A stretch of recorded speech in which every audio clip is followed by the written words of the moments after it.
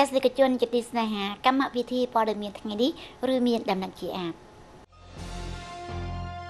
ធ្វើឲ្យសាយភាយទឹកចិត្តស្រឡាញ់ចម្រៀងប្រជាប្រិយខ្មែរ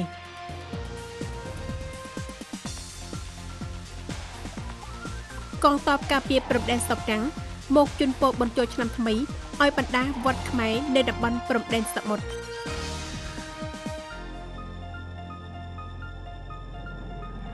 ប្រសិទ្ធភាពនៃទម្រង់ផលិតសម្រាប់នឹងស្ថានភាពជ្រាបទឹកប្រៃ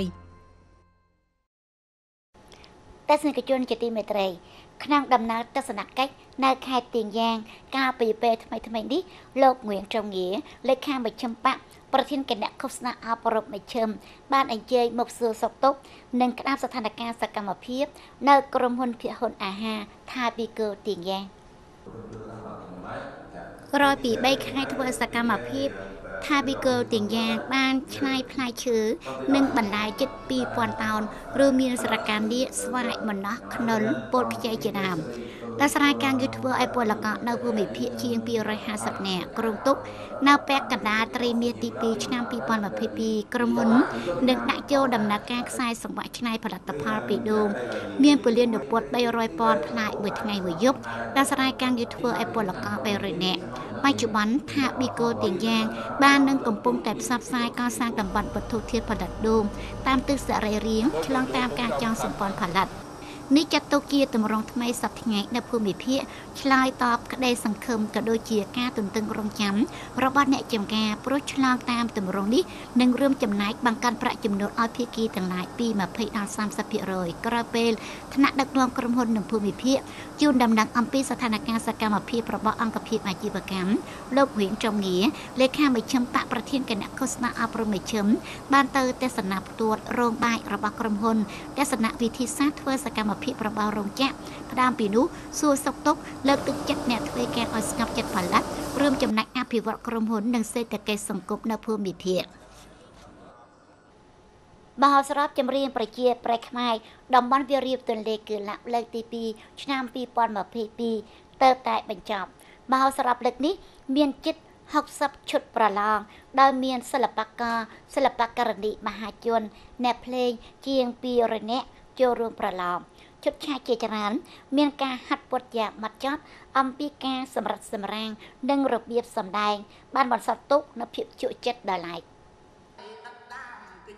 នេះជាការប្រឡងចម្រៀងចាប៉ីមនុស្សទិញចេតនា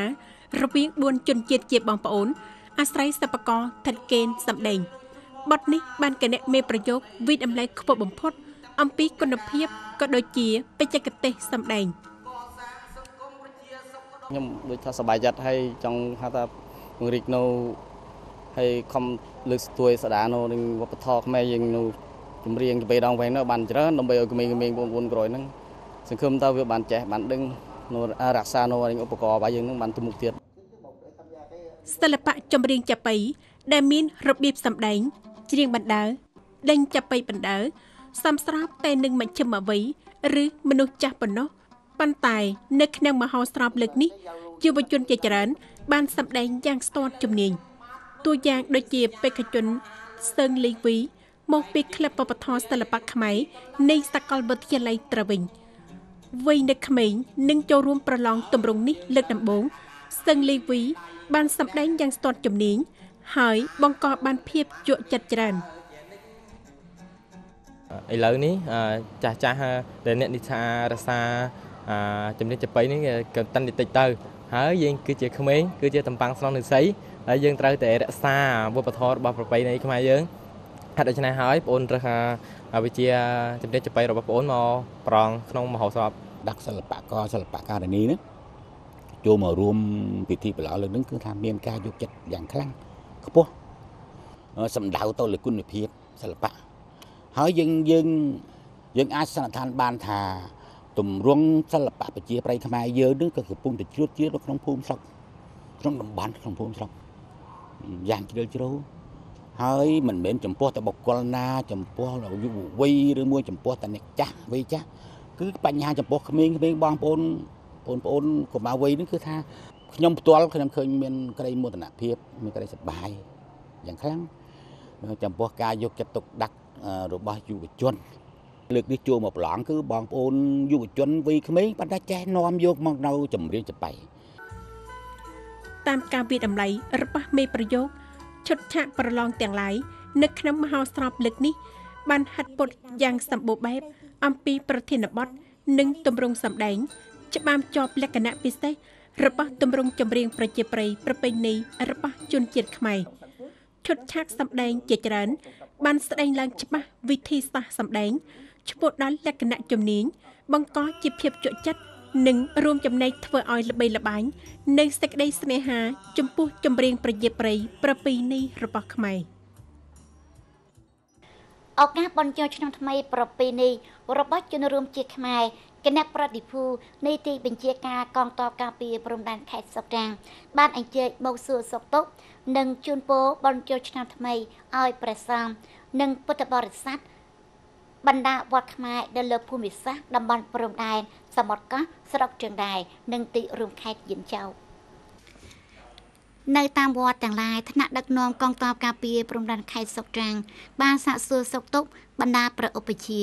និងអ្នកមានប្រជាប្រិយភាពក្នុងជនរួមជាតិខ្មែរព្រមទាំងស្វែងយល់ អំពីស្ថានភាពពលកម្មផលិតអភិវឌ្ឍសេដ្ឋកិច្ចវប្បធម៌សង្គមរបស់បងប្អូនខ្មែរនៅលើភូមិសាស្ត្រប្រតិភូមិបានសម្ដែងទឹកចិត្តដឹងគុណចំពោះជនរួមជាតិនៅតំបន់ព្រំដែនសមុទ្រដែលបានរួមដំណើរជាមួយកងទ័ពការពារព្រំដែនក្នុងការបង្ការទប់ស្កាត់អាសន្នជំងឺ Covid-19 ក្នុងពេលកន្លង ឱកាសនេះថ្នាក់ដឹកនាំកងទ័ពការពារព្រំដែនបានប្រគេនទេយ្យវត្ថុនិងជូនអំណោយព្រមទាំងផ្ញើវាចាជូនពរដល់ព្រះសង្ឃគណៈកម្មការវត្តទទួលអំណរបញ្ចូលឆ្នាំថ្មីដោយសុខសាន្តនិងសុភមង្គលហើយសង្ឃឹមថាពេលខាងមុខព្រះសង្ឃនិងគណៈកម្មការវត្តទាំងឡាយនឹងបន្តការរួមជាមួយកងទ័ពការពារព្រំដែនចូលរួមការពារសន្តិសុខសម្រាប់ធ្នាប់ព្រំដែនក្នុងស្ថានភាពថ្មី។ នៅច្រកព្រំដែនអន្តរជាតិតិនបៀងទីបញ្ជាការកងទ័ពការពារព្រំដែនខេត្តអាងយ៉ាង បានចាត់តាំងពិធីជួបជុំនិងជូនអំណោយសម្ភារៈសុខាភិបាល និងជូនពរបញ្ចូលឆ្នាំថ្មីឲ្យកងកម្លាំងប្រដាប់អាវុធរបស់ខេត្តកណ្ដាលនិងខេត្តតាកែវនៃព្រះរាជាណាចក្រកម្ពុជា។ លើស្មារតីចិត្តខាងល្អប្រសើរមិត្តភាពប្រពៃណីសហការក្រឹតវិស័យយូរអង្វែងលោកវរៈស្នេហ៍ឯកត្រឹងវឹកខិនមេបញ្ជាការកងទ័ពការពារព្រំដែនខេត្តអាំងយ៉ាងផ្ញើវាចាជូនពរឆ្នាំថ្មីដល់កម្មាភិបាលយុទ្ធជននៃបណ្ដាកងកម្លាំងការពារសន្តិសុខកងកម្លាំងយោធាកងវីរៈសេនាកងទ័ពការពារព្រំដែនប៉ូលីសខេត្តកណ្ដាលនិងខេត្តតាកែវនិងក្រុមគ្រួសារទទួលឆ្នាំថ្មីប្រកបដោយសុខភាពបរិបូរណ៍ បានសេចក្តីសុខសាន្តនិងសុភមង្គលជូនពរឲ្យចំណងសាមគ្គីមិត្តភាពរវាងប្រទេសទាំងពីរប្រជាជាតិទាំងពីរនិងកងកម្លាំងប្រដាប់អាវុធប្រទេសទាំងពីរកាន់តែស្អិតល្មួតលោកសង្ឃឹមថាក្នុងពេលខាងមុខកងកម្លាំងប្រដាប់អាវុធខេត្តអាំងយ៉ាង និងខេត្តកណ្ដាលខេត្តតាកែវ និងបន្តការគប់សំចិត្តស្និទ្ធជាមួយគ្នាក្នុងការកសាងគ្រប់គ្រងការពារព្រំដែនត្រួតពិនិត្យចិត្តស្និទ្ធទប់ស្កាត់អំពើឆ្លងដែនខុសច្បាប់រឹតគយកៃបន្លំពាណិជ្ជកម្មជួញដូរមនុស្សជាដើមកងទ័ពការពារព្រំដែនខេត្តអាំងយ៉ាង បានជូនអំណោយ13ចំណែកប្រាក់890លានដុំអង្គ21តោននិងបណ្ដាសម្ភារៈប្រើប្រាស់សម្ភារៈសុខាភិបាលបង្ការទប់ស្កាត់អាសន្នជំងឺ Covid-19 ឲ្យកងកម្លាំងប្រដាប់អាវុធខេត្តតាកែវនិងខេត្តកណ្ដាលព្រះរាជាណាចក្រកម្ពុជាដោយតម្លៃសរុប2000លានដុល្លារតំណាងភាគីកម្ពុជាថ្លែងអំណរគុណចំពោះកងទ័ពការពារព្រំដែនអាំងយ៉ាង ដែលតែងតែចាប់អារម្មណ៍ជំនួយឲ្យកងកម្លាំងខេត្តទាំងពីរអំពីសម្ភារៈនិងស្មារតីដើម្បីសម្រេចល្អភារកិច្ចវៀតណាមសម្រេចបានកិច្ចព្រមព្រៀងអំពីការទទួលស្គាល់ការចាក់វ៉ាក់ស៊ានឆ្លងដែនជាមួយដល់9ប្រទេស នេះជាព័ត៌មាន ពីអង្គសខាសាលាអចិន្ត្រៃយ៍របស់ក្រសួងការបរទេសជាស្ដែងវៀតណាមសម្រេចបានកិច្ចព្រមព្រៀងអំពីការទទួលស្គាល់កាតយ៉ាក់វ៉ាស៊ីនឆ្លងដែនជាមួយអា9ប្រទេសរួមមានជប៉ុនអាមេរិកអង់គ្លេសអូស្ត្រាលីឥណ្ឌាកម្ពុជាហ្វីលីពីន ម៉ាឡេស៊ីសិង្ហបុរីកូរ៉េខាងត្បូងថ្ងៃទី4មេសាកន្លងហើយក្រសួងសុខាភិបាលបានជូនដំណាក់លម្អិតអំពីវិធីសាស្ត្រផ្ដល់ការចាក់វ៉ាស៊ីនឆ្លងដែនរបស់វៀតណាមព្រមទាំងគ្រោងទុកនៅថ្ងៃទី15មេសាខាងមុខការចាក់វ៉ាស៊ីនឆ្លងដែននឹងបានផ្ដល់ជូនប្រជាជនបច្ចុប្បន្នមានប្រហែល1000នាក់បានផ្ដល់ការចាក់វ៉ាស៊ីនឆ្លងដែនរួចហើយក្រោយពេលបូសសរុប3ឆ្នាំអនុវត្តសេចក្តីសម្រេចលេខ120 អំពីការសម្របនិងអាកាសធាតុប្រែប្រួលនៃតំបន់វារីបទន្លេគីឡំផ្នែកកសិកម្មខេត្តគៀងយ៉ាងបានប្រមុខដុំកសាងបណ្ដាទម្រង់សម្រាប់និងទឹកប្រៃទឹកសាបឲ្យបងប្អូននៅតំបន់ដែលត្រូវរងអធិពលក្រោយពេលអនុវត្តឃើញថាមានជំហានវិវត្តយ៉ាងច្បាស់តាំងពី2ឆ្នាំមុនទឹកប្រៃចូលជ្រៅមកក្នុងវាលស្រែ បង្កអន្តរាយធ្ងន់ធ្ងរដល់ផ្ទៃដីផលិតស្រូវរបស់លោកយ៉ាន់វាងនៅឃុំថៃក្វាងស្រុកកៅវ៉ៅហេតុនេះលោកសម្រេចចិត្តបដូរមកទម្រង់ម្នោះស្លាដូងវិញតាំងពីកណ្ដាលឆ្នាំ2020រហូតមកដល់សប្តាហ៍ថ្ងៃនេះពេលនេះម្នោះប្រមូលផលបាន5រដូវហើយចំណែកស្លានិងដូងក៏ចាប់ផ្ដើមផ្ដល់ផ្លែលើកដំបូងដែរកាលមុនតែធ្វើស្រែវាមិនចាំនិតផលហើយដល់ហើយមិនឃើញទៅ ជីហួរគេពេកមិនបានឡើងចំការនោះដាប់ដំណាំវាកើមួយខែបានធូរបាត់ហើយមើតិចជីតិចសិចឆ្នាំសិចលកៅអីណាដល់ធ្វើស្រែវាសិចឆ្នាំហ្នឹងបោះជីហ្នឹងវាមិនសមនិតផលធ្វើស្រែមកហត្តាវាមិនបានប្រហែលមកគង់បានតែប្រហែលមកតើ600គីឡូណា còn ធ្វើស្រែធ្វើដាំខំនេះបានលទ្ធផលចុះមួយឆ្នាំកាត់2ដង អាស្រ័យនាំមកនៅប្រសិទ្ធភាពខ្ពស់ម្ល៉េះហើយបងប្អូននៅឃុំថើយក្វាង បានបង្កើនផ្ទៃដី ដែលបដូរមកដាំម្នាស់ស្លាដូងពីជាង100ហិកតាឆ្នាំ2020ដល់ឆ្នាំ2022ឡើង250ហិកតាកសិករយើងនៅតែផ្លាស់ប្ដូរដំណាំទីមួយអំពីថាពីមុនមកដាំដំណាំស្រូវថាលទ្ធផលមូលផលគឺផលហ្នឹងគឺថាការអឺ សម្ភារៈក៏វាច្រើនដូចថាវិកាលជាដើមដូចជាថ្លៃជីថ្លៃអីវាវាខ្ពស់ហើយដូច្នេះហើយការប្រមូលផល និងទិន្នផលវាវាទៀបបើសិនជាផ្លាស់ប្ដូរដូចជាដំណាំដូចជាដូងស្លាឬម្នាស់នឹងអាចនឹងធ្វើឲ្យគាត់បានប្រមូលផលនឹងធូរធារជួយកែប្រែជីវភាពការរស់នៅរបស់គាត់ ចំណែកបណ្ដាគ្រួសាររស់នៅតាមមាត់ទន្លេកៃលើងឃុំយិនភឿកអាស្រុកកៅវ៉ៅខេត្តគីយ៉ាងដោយសារស្ថិតនៅក្នុងតំបន់មានទឹកសាបផងទឹកប្រៃផងម្ល៉េះហើយបងប្អូនជ្រើសទម្រង់ដាំឆ្លាស់ម្នោះបង្គាដើម្បីវប្បកម្មឲ្យសមស្របនឹងប្រព័ន្ធជីវដ្ឋានទឹកភ្លៀវនេះជាទម្រង់ម្នោះបង្គារបស់គ្រួសារបងយិនភឿងក្នុងទឹកបងចិញ្ចឹមបង្គានេះដល់កម្រិត2ក្បាលក្នុង1ម៉ែត្រការ៉េ គិតដោយឡែកតែប្រាក់លក់បង្គាក្នុងរដូវជ្រាបទឹកប្រៃបងមានចំណូលពី30ដល់40លានដុំចំណេចម្នោះអាស្រ័យជាប្រភេទដំណាំធន់បាននឹងភាពរាំងស្ងួតម្ល៉េះហើយជាប្រភេទដំណាំផ្ដល់ប្រភពចំណូលសំខាន់ក្នុងទម្រង់នេះ គឺជាង70លានដុំក្នុង1ហិកតាមួយឆ្នាំក្នុងរយៈពេលទឹកប្រៃយើងមិនស្រោចទឹកទេ ទុកឲ្យដុះដោយធម្មជាតិព្រោះអីពេលយើងផ្ដិចទឹកផ្ដិចជីពីខែតុលា គឺវាអាចធន់ទ្រាំបានដល់ខែកុម្ភៈខែមីនា ចាំដល់ពេលមានភ្លៀងវានៅតែអាចគ្រោះបានដើម្បីសម្របនឹងអាកាសធាតុប្រែប្រួលបងប្អូនខ្មែរនៅខេត្តគីយ៉ាងបាននឹងកំពុងអភិវឌ្ឍបណ្ដាទម្រង់នាំមកនៅប្រសិទ្ធភាពសេដ្ឋកិច្ចខ្ពស់ធ្វើឲ្យភាពសាក់លបងคล้ายទៅជាឱកាសវិញសម្ដៅរកស៊ីធ្វើមាននៅស្រុកកំណើតរបស់ខ្លួនតែម្ដង។ ក្នុងរដូវផលិតនីមួយៗកសិករតែងត្រូវគិតមកចាត់អំពីសហុយផលិតដំឡៃជីការឡើងពលករក៏មិនសូវមានច្រើនដែរធ្វើយ៉ាងណា ដើម្បីរក្សាបានការផលិតផលនិងធានាមានប្រសិទ្ធភាពផលគឺជាចំណោទពិបាកមួយប៉ុន្តែពុំមែនដាស់ស្រែកមិនបាននោះទេ នៅតែមានវិធី ដើម្បីកាត់បន្ថយសហុយផលិត មានដំណោះស្រាយជាច្រើនដែលមានមានកសិករនៅតំបន់វារីបទន្លេគឺឡំ អនុវត្តក្នុងការផលិតស្រូវនិងដាំចំការឈើហូបផ្លែហើយសប្តាហ៍ថ្ងៃនេះគឺចំពោះដំណាំ ដើម្បីបង្វិលទុនបាត់រហ័សការដាំដំណាំធ្លាប់បានចាត់ទុកជាវិធីយកគ្លេចិញ្ចឹមវែងប៉ុន្តែពេលនេះអាចក្លាយជា ប្រភពចំណូលសំខាន់របស់គ្រួសារកសិករតែទៅនេះ គឺនិយាយអំពីសហគមន៍បន្លែសុវត្ថិភាព នៅទីក្រុងកេងទេ រទេសឆ្នៃខ្លួនឯងសម្រាប់ដឹកបន្លែអាចជំនួសឲ្យកម្លាំងពលករ3នាក់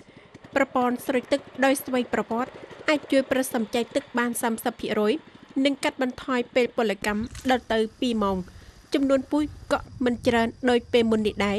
ក្នុង1000ម៉ែត្រការ៉េបងពូជតែប្រហែល25គីឡូក្រាមប៉ុណ្ណោះហើយស្ទើរតែបានប្រើពូជទទួលស្គាល់ទាំងអស់នេះជាវិធីដែលសហគមន៍វ៉ាផាក់អនុវត្តក្នុងពេលថ្មីៗនេះ ដើម្បីកាត់បន្ថយស្ទោយ trước là mình không có xài hữu cơ កាលមុនខ្ញុំមិនប្រើជីសរីរាង្គប្រើតែជីគីមីឥឡូវខ្ញុំដឹងខ្ញុំប្រើជីសរីរាង្គដាក់ទ្រាប់បាតចំ4យ៉ាង គឺចំពេលចំចំនួន ចំឆ្នាំចំមុខសញ្ញា បើព្រោះញឹកដើមវាមិនបានធំអញ្ចឹងទេ ដើមស្គមពេលភ្លៀងខ្យល់ត្រូវរលំនេះជាដីដែលពីមុនផលិតស្រូវមួយរដូវ ប៉ុន្តែពេលនេះបានបដូរមកដាំដំណាំជុំឆ្នាំនៅក្នុងមណ្ឌលនេះមានប្រហែល60គ្រួសារដាំត្រកួនតាមទិសសុវត្ថិភាពផ្គត់ផ្គង់ឲ្យទីផ្សារជិត15តោនជារៀងរាល់ថ្ងៃ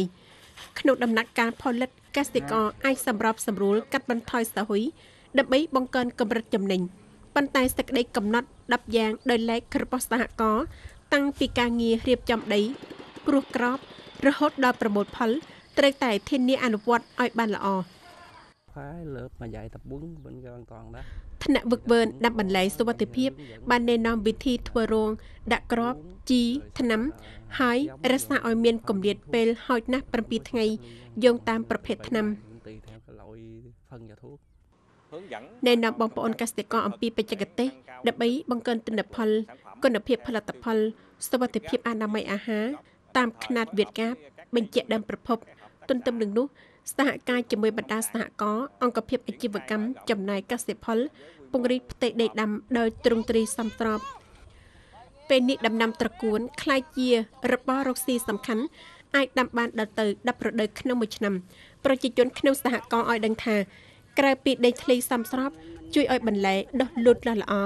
វិធីប្រមូលផលដកទាំងគ្រឹះកក់កាត់បន្ថយបានជំងឺដង្កូវឲ្យរដូវក្រោយដែរ ហើយថែមទាំងជួយរក្សាឲ្យបន្លែនៅស្រស់បានយូរទៀតផង